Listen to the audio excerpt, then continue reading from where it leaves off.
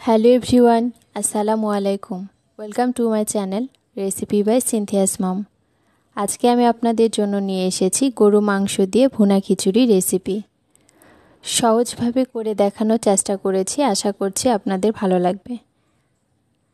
চলুন তাহলে কথা না বাড়িয়ে তৈরি করি আজকের এই রেসিপিটি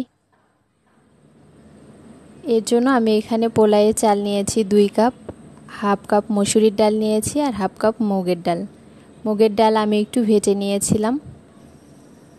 এদিকে হাফ কেজি গরু মাংস নিয়েছি। এবার চলে যাব চুলায়। চুলায় একটা হাঁড়ি বসিয়েছি, তার মধ্যে পরিমাণ মতো তেল দিয়ে নিয়েছি।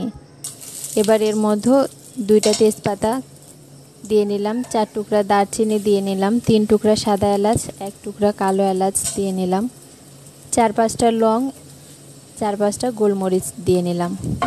কয়েক সেকেন্ড এই গরম মশলাটা একটু নেড়ে নিচ্ছি। এবার এর মধ্যে এক কাপ পেঁয়াজ কুচি দিয়ে নিলাম। দশ বারোটা কাঁচামরিচ দিয়ে নিলাম। ঝালটা আপনাদের টেস্ট অনুযায়ী বাড়িয়ে কমিয়ে দিতে পারবেন। নেড়ে চেড়ে হালকা করে ভেজে নিয়েছি। এবার এর মধ্যে মশলা দিয়ে নিব। আদা রসুন দিয়ে নিলাম তিন টেবিল চামচ। লাল মরিচের গুঁড়ো দিয়ে নিলাম দেড় চা চামচ। এক চা চামচ দিয়ে নিলাম গরম মশলার গুঁড়া, লবণ দিয়ে নিলাম স্বাদ মতো, জিরার গুঁড়ো দিয়ে নিলাম এক টেবিল চামচ, হলুদের গুঁড়ো দিয়ে নিলাম এক টেবিল চামচের কিছুটা কম হবে। এবার এর মধ্যে কিছুটা পানি দিয়ে নিলাম মশলাটা কষানোর জন্য।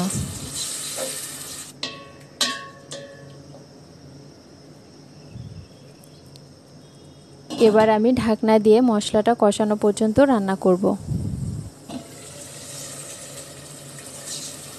আমার মশলাটা কষানো হয়ে গেছে।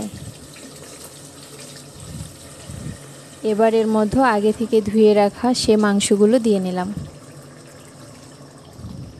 মশলার সাথে মাংসগুলো ভালো মতো একটু মিক্সড করে নিচ্ছি।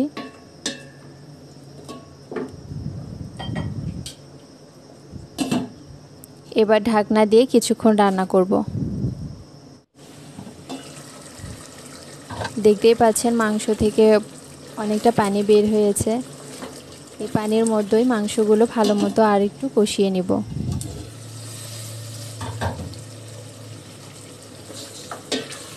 আমার মাংসগুলো কষানো হয়ে গেছে।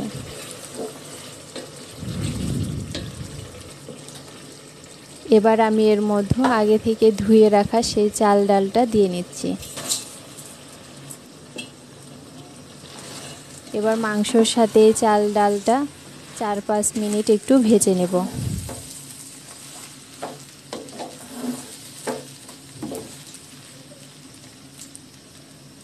আমার ভেজে নেওয়া হয়ে গেছে, এবার এর মধ্যে পানি দিয়ে নিলাম। আমার এখানে চাল ডাল মিলে তিন কাপ হয়েছিল। যদি ঝরঝরে করতে চান, তাহলে ছয় কাপ পানি দিলেই হবে। আমি একটু নরম করব এর জন্য ছয় কাপ আরও এক কাপ দিয়েছি। মোট সাত কাপ পানি দিয়ে নিয়েছি। এবার ঢাকনা দিয়ে রান্না করব, পানিটা শুকিয়ে আসা পর্যন্ত। দেখতেই পাচ্ছেন, পানিটা অনেকটা শুকিয়ে এসেছে। এবার আমি একটু নেড়ে নিচ্ছি।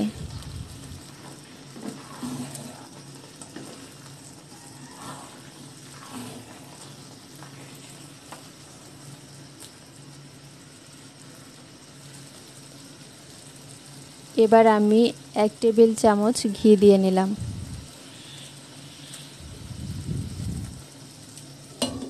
এবার ঢাকনা দিয়ে আরও কিছুক্ষণ রান্না করে নিব।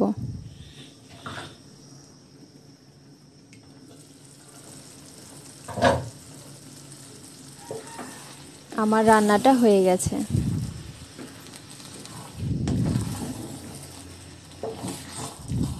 আমি চুলা অফ করে দিয়েছি, এবার এইভাবেই ঢাকনা দিয়ে পাঁচ মিনিটের মতো দমে রেখে দিব।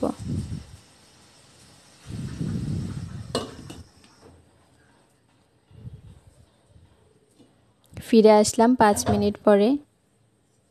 আবার একটু নেড়ে নিচ্ছি।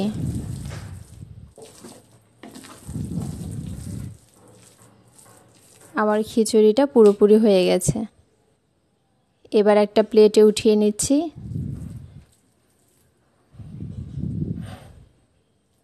তৈরি হয়ে গেল আমার অসম্ভব মজার গরু মাংসর ভুনা খিচুড়ি রেসিপি।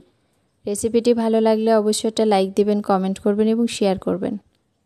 সাথে আমার চ্যানেলটি সাবস্ক্রাইব করবেন, পাশে থাকা বেল আইকনটি বাজিয়ে দিবেন। আজকে এই পর্যন্তই। সবাই ভালো থাকবেন, সুস্থ থাকবেন। আল্লাহ হাফেজ।